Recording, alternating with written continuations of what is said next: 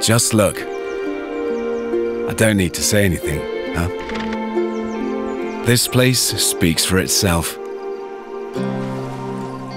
No wonder that the Carthusian monks settled at the foot of the Montsant Mountain a thousand years ago. It's tough, for sure. It's rugged, rocky, and very, very dry. And the heat, oh. But it's our land. It's our home. You know what? It's us.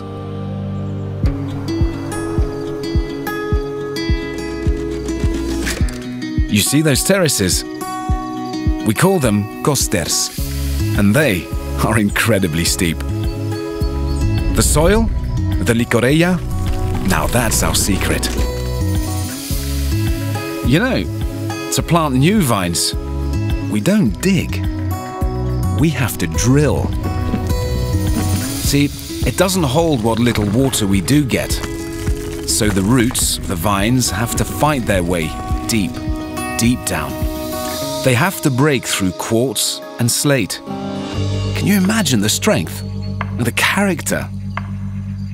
The lack of water and all that sun, well, it stops the plant from growing and all the energy gets concentrated right in the grapes. And our people, well, they're as tough as those vines. We harvest the grapes, garnacha and cariñena, by hand we have to. No machine can get up here. It's hard labor, yeah. But it's a passion. Quality, it's so, so high.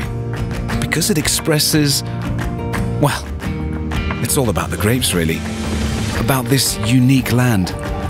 That's why we really take good care of the vines and we respect the land and nature. We're all united in this one endeavor. But enough of this. You'll get it when you taste the wine yourself.